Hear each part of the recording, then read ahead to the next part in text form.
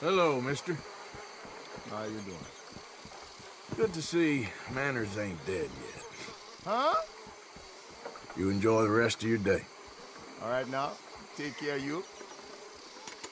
My God. Hey, hey, wait. Let's talk about this. They'll hang you. Don't do it. Ah, you ain't worth it. You touched in the head.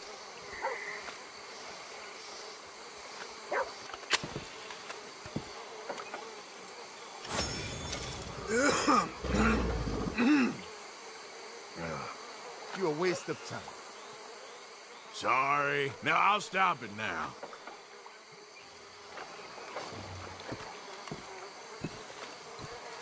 Away, tough guy.